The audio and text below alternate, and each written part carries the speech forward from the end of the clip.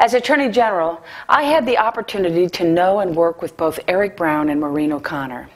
Eric Brown was an Assistant Attorney General in my office for seven years. I worked closely with Justice O'Connor when I was the Attorney General and she was Summit County Prosecuting Attorney, and later when she served as Lieutenant Governor and as a Justice on the Ohio Supreme Court. I know them both very well. That said, I am strongly supporting Maureen O'Connor for Chief Justice.